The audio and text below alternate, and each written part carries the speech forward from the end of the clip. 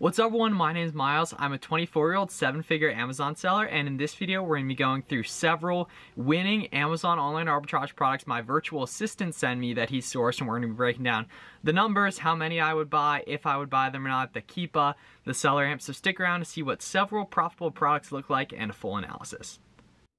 Let's review some winning products. So this first one we're looking at right here is this Coco Gloss uh, moisturizing item right here, which is selling for 70 bucks right off the bat, that seems pretty expensive for a product like this. So um, then using the rule of one to two, which is the idea that your product cost, the sale price should be below 50%, should be right around 50% or below it.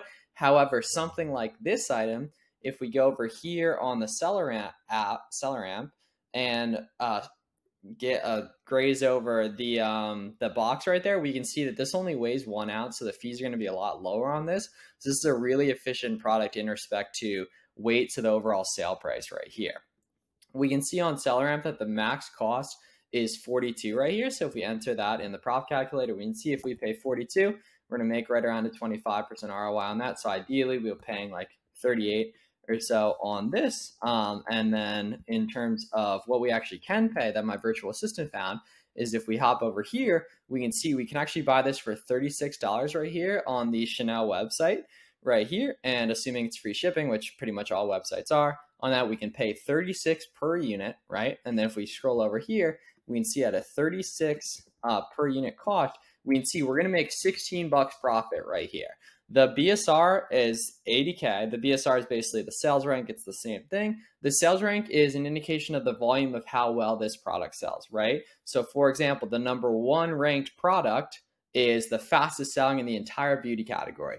Then the number 10 ranked product is slightly slower selling, but still incredibly quick, right? This is an 80K BSR, which is relatively high. We can see it is selling, estimated, it's selling 101 sales per month right here. And then if we scroll down and look at the Keepa, we can see that across a year right here, the price is totally trending up right here. And I have a full tutorial on Keepa and SellerAmp if you want to check out those as well. But we can see that there were 72 sellers in October on this product, and now there are only 13. So naturally, the price went from 46 all the way up to 75 right there, right in the 70 range. Um, I think it's currently buy boxing at 69 right here. So that makes sense. If we look at the three month chart, which is what the data that I'd recommend looking at if you're newer, um, and actually not going to be buying big quantities of stuff. And specifically, even just the last month, we can see at a 69, let's call that right around the average, maybe 68, the average for the last 30 days. If we plug that in, we can see we'd still be making a 42% ROI right here. So that's a great ROI. Um, profit per unit's high. This is a small product, so you're gonna be able to fit a lot in a in a box. This is definitely a a winning item right here. And I do see it says IP uh, suspected within SellerAmp. We can see there's a bunch of other third party sellers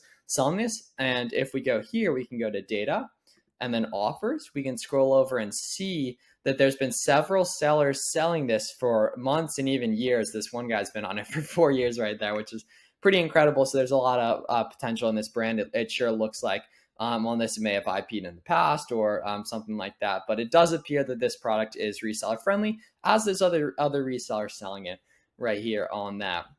Honestly, don't uh, think there's much uh, much more need to overthink it. The ROI checks out, the velocity checks out. Um, uh, Chanel is a or whatever. Chanel is a big brand right there. So this uh, checks out in terms of being a winner product right here and a great find by my virtual assistant. Don't need to look too more into the SellerAmp, but if I was going to go find more items for here, I would go down to the offers and open up more storefronts. We can do some of that in a sec. Right here. Okay, next item right here. Winning product number two. We can see this Neutrogena product right here. Immediately, I'm looking at the BSR. Okay, so it's a 22K BSR right here. So the volume checks out. 500 sales per month.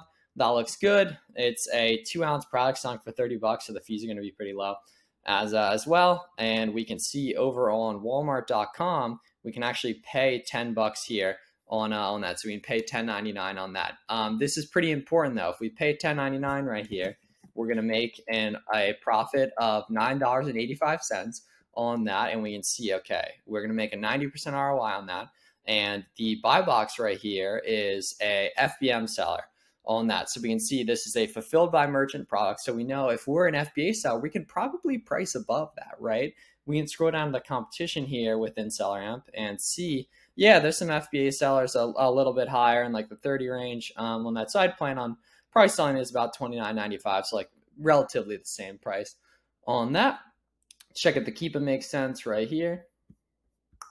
And we can see in terms of the last month, the price is pretty stable as well. And our ROI is high. So even at like a 24 sale price, we can see that the uh, the profit per unit is still pretty good on that. However, a major red flag I need you guys to consider on this is if we go here we can see that and see it sold and shipped by uh, by uh, Melanin LLC right there, which is a third party seller on Walmart, which is definitely risky and something I avoid buying from. So this is not sold by Walmart themselves; it's sold by a third party seller on Walmart, which it's going to be very difficult to beat in authentic complaints if you do end up getting that on this product. And I'm personally not a fan of buying from third party sellers. I know a lot of people who do it, especially if the third party seller has a lot of reviews or something, but I chose this product as a specific example of uh, potentially a trap that I don't want you guys to fall into and everything. Like the the velocity is great, the profit per unit checks out and everything. It just does is coming from a third party seller, which may lead to some authenticity issues on that. And even though the Keepa checks out and everything, um, this is probably a product I would ultimately avoid.